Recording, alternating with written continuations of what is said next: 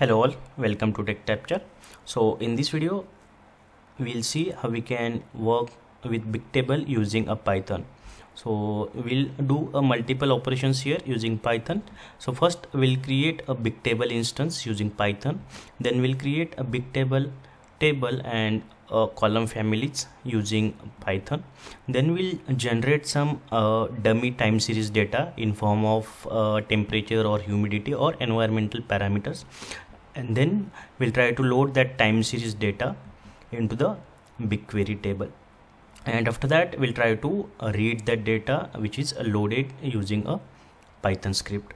So without wasting time i'll go to my VS Code and will share my code.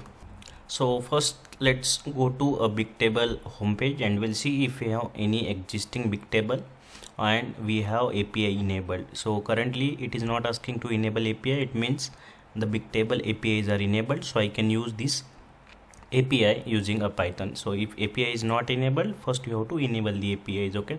So what I will do first, I will create a Python uh, sorry create bigtable instance using a python so i have code here so instead of calling functions so my plan was earlier to create a multiple functions like create instance create table then load the time series data and then read data and then call this function using a main file. But i just want to show step by step.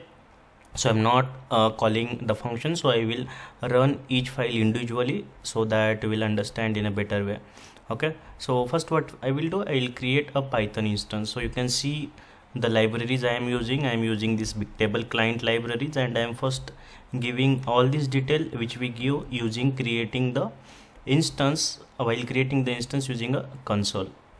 So if i go here and i'll try to show you. So if i click on create instance here. So whatever the detail it will ask here the same detail we have to provide in python as well okay? So all details i am providing in a form of variables and using the client library i am using the method instance dot create to create my cluster or a, a big big table instance. So i have defined few variables here. The project name ttdev 001 the instance name i'll be using btdev and i'll creating one climate tables where i'll be loading the time series data okay? So first let me go to a create bt and let me go to a cloud bigtable folder okay? And first i will run a create instance. So let me run python create instance. Okay so i'll share a code with you so do not worry about a code. So it is creating a python instance now so even if you get any error just try to troubleshoot that. Just google around that error and you will find a multiple articles and solution on google. Even i am learning in the same way so i did not get this code readily available somewhere. So i did some troubleshooting i did some research i got multiple errors i solved that and then finally got my correct code. So here uh, creating a big table instance. So let me go to the console and let me reload here and we'll see if the instance is created so bt hyphen dev the name we have given to our big table instance. Okay so bt hyphen dev us central 1a with a single node is created. So let me see here. Yeah the number of nodes we have given. Us central 1 okay and we have given the development uh, version. So it will create a single node okay. So now the instance is created. Let me see if we have any table inside this instance okay? If not i'll create table. So here we do not have any table. So let's create one climate table and create a column family inside that. So i'll go to create bt table now. So here also i am using the bigtable client libraries and using the service account i am using the credential. I'm using the service account keys to set my credential environment variable which will use to authenticate with this cloud bigtable APIs okay? So the table ID I have mentioned a climate and I'm using the method here. If table is not exist then it will create this table using table.create method and then it will create column family. So column family i'm creating environment parameter env hyphen parameters okay? So let me execute this code now.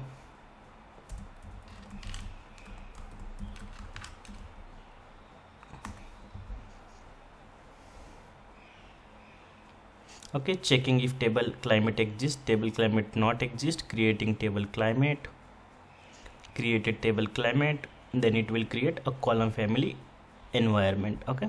Now what i will do i will another tab i will open uh, gcloud and i'll seeing all these changes using a cbt cbt is cloud bigtable command line utility for our uh, bigtable so we can read and write or interact with bigtable using this uh, cbt so first let me set my project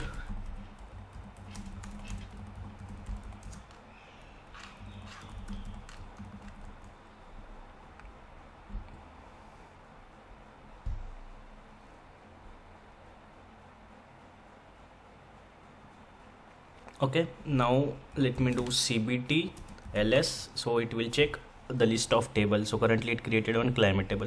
So one thing remember the cbt first time you have to do some changes. So there is one file cbtrc let me do ls hyphen a which is hidden file. So i'll show you that file. Yeah so this file cbtrc we have to add our instance name into that file. Then only it will work for you. So if i do cat so you will see I have added this instance name and project name already. If it is not you have to add okay? Then only this uh, command line utility will work. So now if I do cbtls it will give the list of table. Currently only one table. So I will try to do more operation on table. I'll read also. So currently it is having one column family env parameters okay? And if I try to read table it won't give me any data. So there is no data in my table currently. Okay? Now the table is created column family is created now i will try to ingest time series data okay? So let me refresh here because we are not seeing the table yet. So once we refresh we'll see. Yeah so in climate table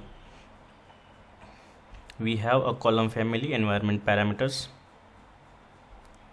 so if i go on edit table you will see this environment parameters okay? Now i want to insert some time series data in form of humidity and temperature. So what i am doing i am creating a dummy data. I will show you how i am creating it. So here i am creating the dummy data so this is the start range i am giving. So suppose i can give any start range here. And the number of entries i want to load. So suppose i want to load 10 entries i will give 10 if not i will give 100 so what it will do? It is starting from this date first of jan 2022 and it is fetching a temperature data after every 10 minutes so it is just recording the temperature at every 10 minutes temperature and humidity.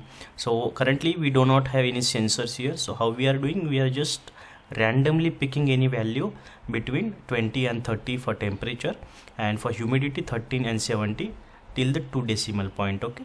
So these are the random values we are fetching or we are setting up for temperature and humidity. And that value we are loading into our big table in a column family environment parameter column temperature environment column uh, parameters and column humidity okay? So this is my code. So what i will do i will load 100 records now okay? So let's go here and run this load time series data.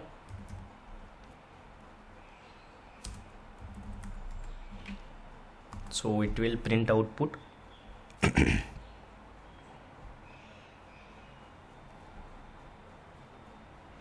okay. So it is uh, loading the data. Meanwhile what i will do i'll just try to read the data. Earlier there was no data.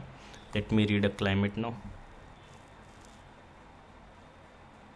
Okay. Now the data is being inserted. Every 10 minutes data you will see 620 630 610 so what is the temperature? At 610 so it is uh, humidity is 69 and temperature is 21 so here 54 23 these are the random values we are setting okay so it it start from 0 so it end with 99 okay? So it set a hundred records and we can see all 100 records here.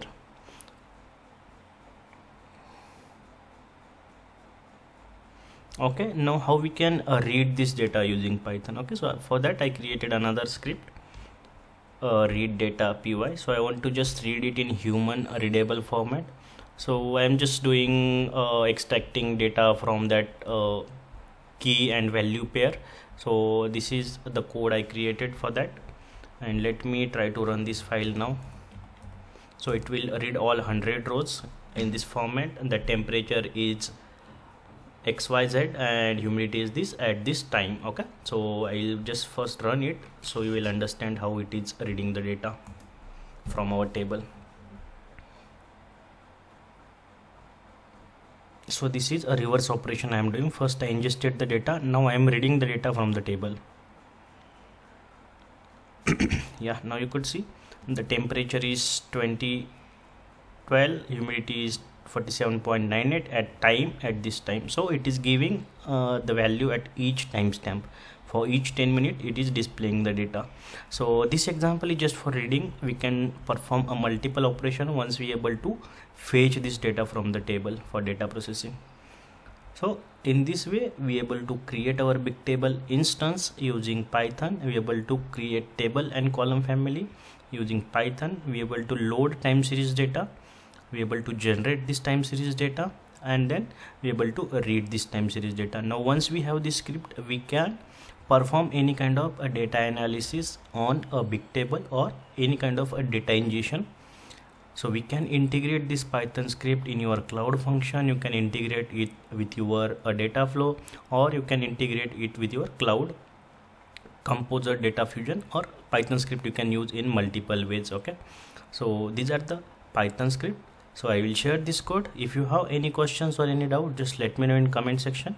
I'll try i'll try to answer that so thank you for watching this video and we'll see you again